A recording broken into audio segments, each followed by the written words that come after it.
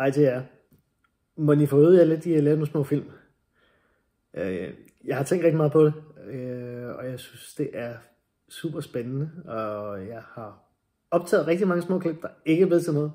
Nu lader vi den her fare, uanset hvordan den ender, men øh, helt nemt er det ikke, men øvelse gør vel mester.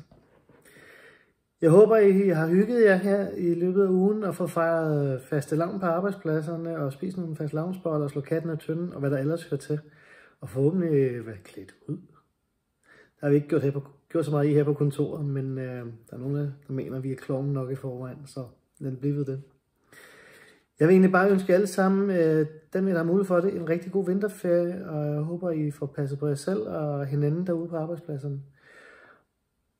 Og så vil jeg bede jer om, at I lige kigger på det opslag, jeg sender med det her. En lille teaser for det. Vi har mulighed for at sende fire til jer afsted på noget øh, kursus for erfarne til jer. Så det er desværre ikke for de helt nye, men det er for dem, der er lidt mere erfarne. Kig på det, men meget gerne hurtigt tilbage. Der er tilmeldingsfrist lige om lidt. En god weekend derude. Hej.